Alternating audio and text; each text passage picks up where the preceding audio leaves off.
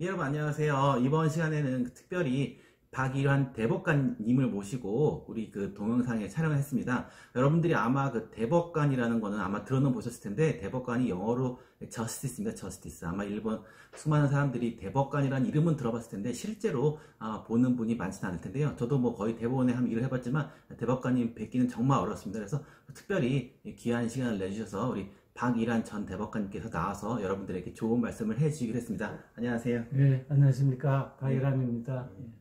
우리 박일환 대법관님 나와주셔서 정말 감사합니다. 아, 예.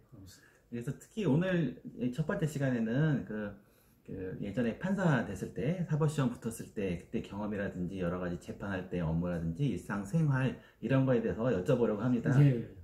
이제 제일 궁금한 게 이제 요새 이걸 본 학생들이 다 뭐 이렇게 로스쿨을 가는 학생들, 뭐 시험 준비하는 학생들이라서 아주 옛날 얘기 하지만 예전에 뭐 사법 시험 붙으셨을 때 옛날 얘기 뭐 예. 이런 것 좀 해주실 수 있나요? 예, 뭐, 저희들이 사법 시험 볼 때는 1970년 초반이기 때문에 지금으로부터 그건 한 50년 전 이야기입니다. 그래서 저는 대학 들어갈 때는 사법 시험이라는 것이 어떻게 뽑고 또 얼마나 많은 사람이 응시하는지도 잘 모르고 들어갔는데 막상 대학에 들어가서 그때 당시 사법시험 1회인가 발표가 났는데 33명이 합격을 어. 하였다고 발표가 났습니다.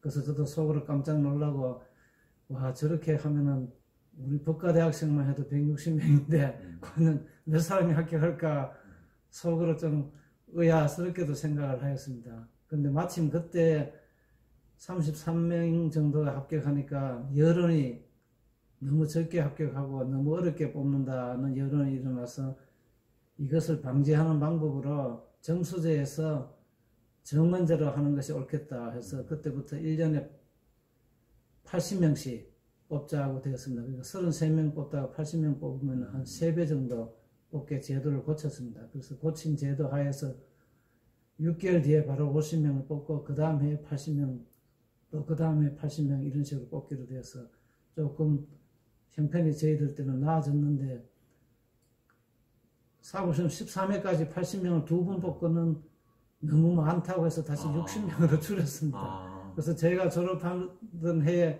볼 때는 60명 정원으로 음. 뽑은 때 저희가 시험을 쳐서 합격을 하게 됐습니다. 어, 대단하시네. 예. 예, 지금으로 생각하면 너무나 측근이 없는 일인데 그때는 그렇게 제도가 바뀌었습니다. 음, 그럼 이게 몇 살 때 붙으신 건가요, 그러면?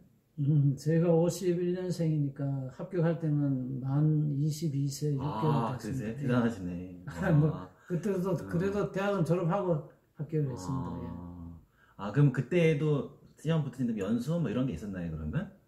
그 이제 사법시험 정원제로 하면서 사법대학원을 없애고 사법연수원을 설립해서 정원제로 뽑은 사람들은 다 연수원으로 어, 갔습니다. 어, 그러면 그 당시에 연수원이 몇 년 다녔었나요? 연수원은 지금 뭐 계속 그때는 지금은 2년입니다. 아, 그때 뭐 연수원 다니실 때 뭐 재밌었던 일이나 뭐 즐거웠던 일 혹시 뭐 이런 거 있으세요? 연수원 다닐 때는 뭐 특별히 그 연수 같은 연수생이라 하더라도 나이 차가 많아서 제일 앞줄에 앉은 사람하고 제일 뒷줄은 한 10년 가까이 차가 납니다. 음, 그래서 그런 여러 가지 다양한 예정청의 사람들이 같이 배우니까 사실 대학과는 분위기가 많이 다릅니다.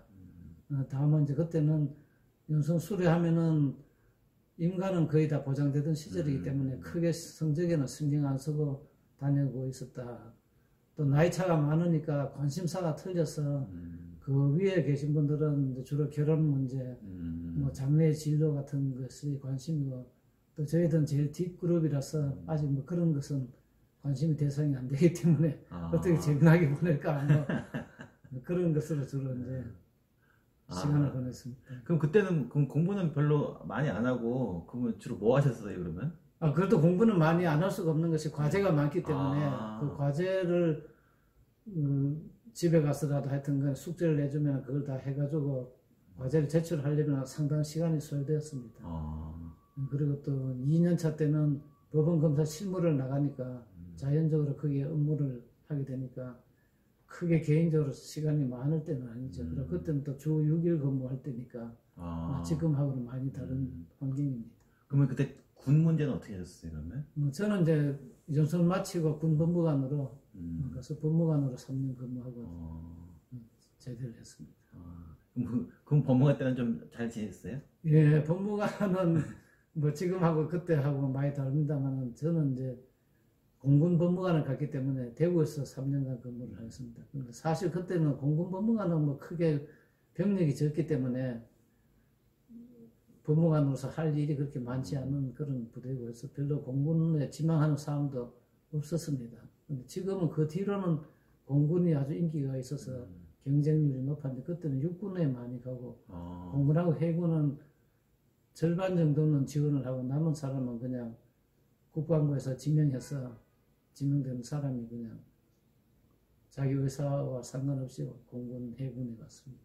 아, 그러면 이제 그 판사 임용 관련해서 예. 그러면 초임 판사를 어디서 시작했었지? 잘, 잘 몰라가서. 아, 초임은 저는 이제 그때는 서울에는 어, 지방법원이 하나 있어가지고 서울지방법원에서 이제 민사지방법, 형사지방법원에 서서 의문에 있었습니다만 동서남부, 동부, 남부, 북부는 지원입니다. 아. 근데 저는 본론에 발령은 받았습니다만 자리가 없어서 남부 지방 지원으로 직무 대리로 발령을 해서 아, 2년 근무를 했습니다. 아, 그러면 그 당시에는 판사님들이 숫자가 많았나요? 제가 잘 몰라서 보통. 정확하게는 모르지만 한 400, 한 50명에서 한 아. 500명 사이 전국에 1년에 한 20명에서 30명 정도가 발령, 판사 발령받고 저희들 동기 중에서는 26명이 판사로 임관을 했습니다. 아, 그때는 진짜 판사가 몇 명 안 돼서 정말 대단했을 것 같은데. 그렇죠. 그러니까 네. 판사들은 뭐 전국적으로 얼굴은 몰라도 이름은 아, 다 거의 다 알고 지내는 그런 형편입니다. 아, 그럼 그 당시에 판결문은 다 뭐 손으로 쓰시고 그랬었어요, 그러면? 그때 어떻게 했었나요? 그러면? 그렇죠. 그때는 이제 판사는 손으로 쓰고, 그 요새로 치면 이제 잉크를 가지고 철필로 쓰고, 어. 또뭐 볼펜으로 쓰는 사람도 있습니다만, 주로 철필을 가지고 잉크로 쓰고, 이제 부장님이 이제 그 연필을 고치면은, 음, 그것을 이제 여자 직원이 타자해가지고, 아, 이제 판결문 완성해서 서는 날인하고 그랬습니다. 음.